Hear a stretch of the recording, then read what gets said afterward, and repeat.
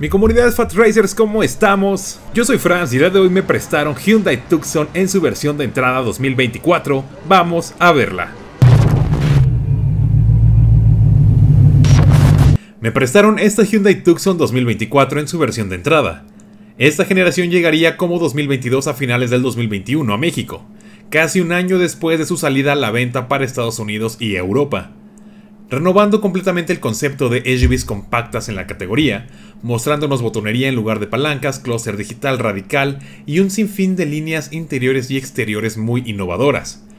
Pero el día de hoy te traigo la versión de entrada, la GLS, con un precio a la hora de publicación del video de 607.600 pesos, con un nuevo motor más potente y con mejores consumos de combustible que la generación anterior portando bajo el cofre un 2.5 litros, 4 cilindros, naturalmente aspirado, de 187 caballos de fuerza y 178 libras-pie de torque, con caja automática de 8 cambios, lo cual te dará excelentes consumos de combustible en ciudad y carretera, con 13 km por litro en ciudad y hasta 18 km por litro en carretera con buenos hábitos de manejo.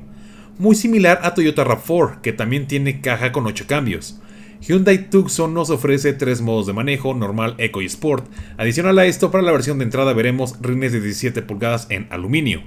Tendremos unas medidas de 4.5 metros de largo, 1.86 metros de ancho y 1.65 metros de altura. Compite contra las SUVs compactas como Kia Sportage, Mazda CX5, Mazda CX50, Toyota RAV4, Honda CRV, Volkswagen Tiguan, Dodge Journey, Ford Territory, Nissan X-Trail, entre otros más rasgos afilados y detalles por todos lados, me encanta el limpiaparabrisas trasero oculto, que evitará que se llene de polvo y dure más la goma a los rayos del sol e interperie, espejos a color con luces direccionales y abatimiento electrónico, faros LED con encendido automático, faros de niebla y diurnas DRLs. Las luces traseras en esta versión son tradicionales y a partir de la GLS Premium serán en LED molduras en cromo ahumado, molduras en salpicaderas en plástico negro, algunos detalles en piano black y lo único que me quedan a deber es una salida doble de escape, que sería la cereza en el pastel para este producto, ya que si a Hyundai Creta Grand que solo tiene motor 2 litros se lo incorporaron porque a Tucson no. Al interior tendremos aire acondicionado manual, vestiduras en tela, plásticos suaves, encendido por botón con Smart Key, plásticos duros de buena calidad, molduras en plata y piano black, volante con paletas de cambios, botonería para cambios de velocidades, pantalla de infoentretenimiento de 8 pulgadas con Android Auto y Apple CarPlay inalámbricos, con audio de 6 bocinas, puertos USB y 12 volts, descansabrazos con portavasos delantero y trasero, entre otros más. Para seguridad tendremos 7 bolsas de aire, control velocidad crucero, cámara de reversa, control de estabilidad de tracción, anclajes ISOFIX, frenos ABS con EBD, monitoreo de presión de llantas y sería lo principal. Nos encontramos al interior de Hyundai Tucson en su versión de entrada. Vamos a encenderlo.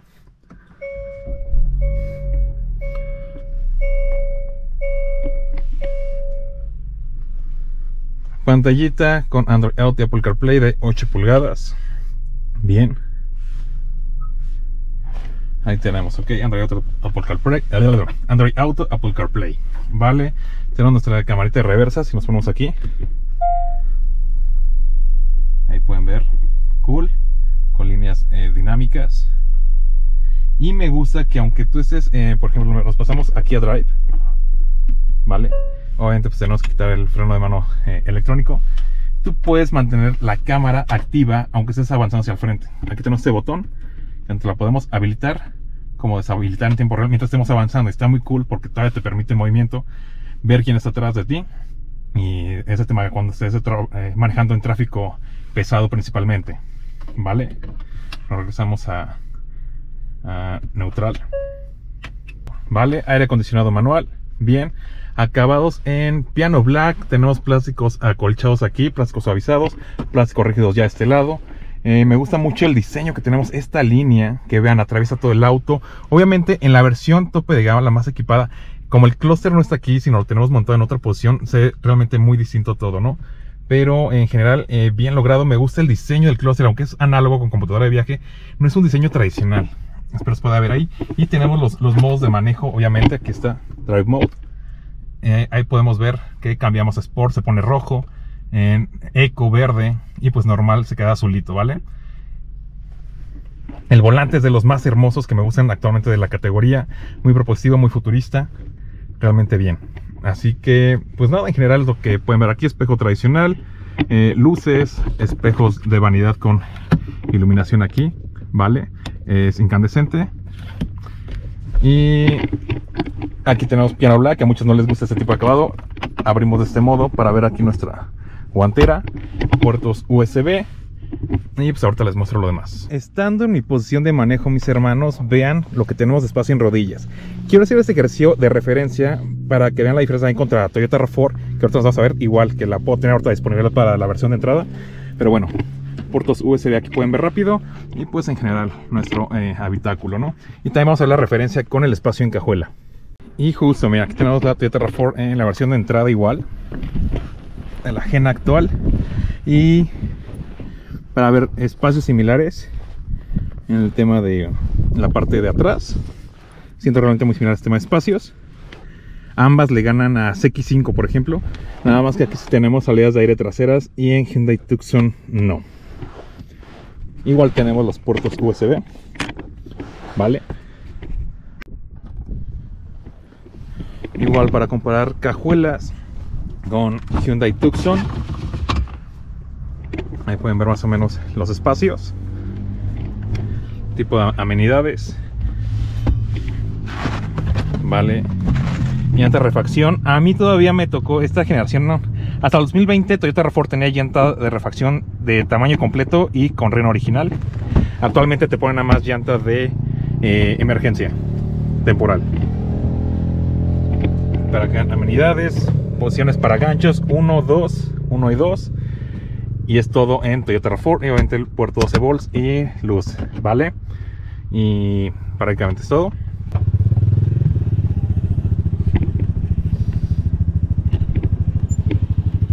Aquí tenemos nuestro maletero. La guía me encanta. Tenemos aquí el tema de las redes. Y para que vean un poco ahí el espacio.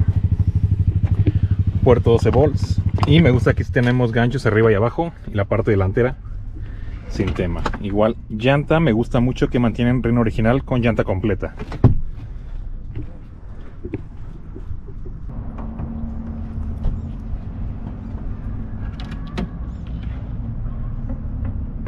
Aquí pueden ver el motor, 187 caballos de fuerza, 178 libras-pie de torque. Motorcito naturalmente aspirado, 2.5 litros. Pues vamos a iniciar nuestra prueba de manejo un vehículo que eh, el modo eco que tiene eh, es muy cómodo. Eh, a diferencia, por ejemplo, yo tengo Toyota RAV4.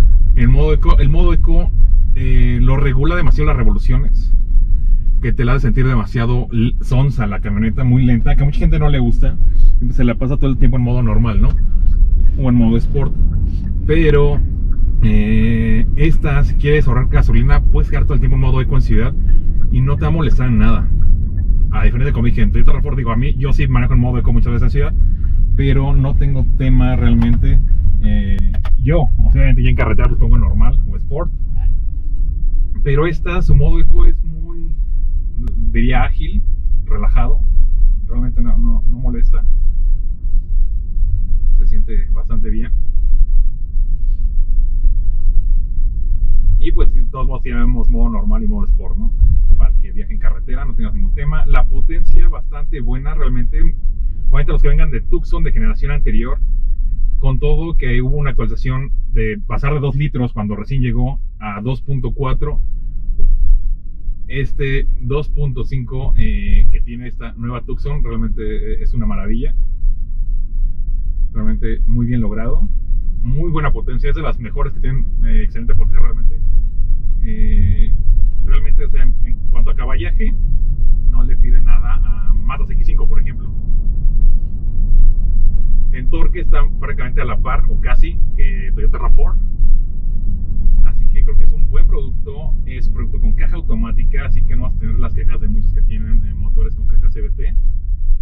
Eso sí, la suspensión es más suave que Toyota RAV4 por ejemplo, eh, a lo mejor muy similar a lo de Nissan X-Trail, pero como aquí tenemos la caja automática se siente distinto la experiencia de manejo, pero sí se siente más producto familiar. Para Toyota RAV4 es más rígida la suspensión. Mi comunidad, eh, disculpen que ando muy despeinado, es que hay mucho aire ahorita. Eh, ¿Qué les parece el producto? Me encanta realmente, creo que desde su versión de entrada viene bastante completa.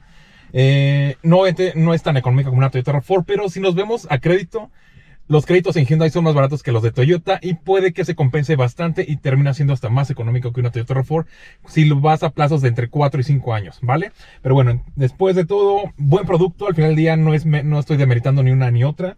Siguen siendo mis mejores productos, realmente los sigo recomendando todavía a finales de diciembre del 2023, como ya versiones 2024 de ambos productos. Los sigo recomendando muchísimo y nada, algo más, se me hace original el tema de la botonería, que prácticamente en la categoría es, muy raro verlo realmente. Eh, la mayoría todavía tienen palanca. O si bien no, por ejemplo, en Nissan X-Trail tenemos eh, un, selector tipo joystick que también está original porque ya no es palanca, que me gusta bastante. Pero aquí es botonería que mucha gente se lo puede hacer muy cómodo y le puede gustar y verlo un poco más moderno ese tema. Y en general, pues nada, bien bonito, paletas, paletas de cambio al volante, está cool. Bien por, por esos temas, ¿vale? Ustedes, por el mismo rango de precio, o similar, ¿qué se comprarían realmente hoy en México y por qué? Yo me despido, yo fui Franz, pásenla excelente.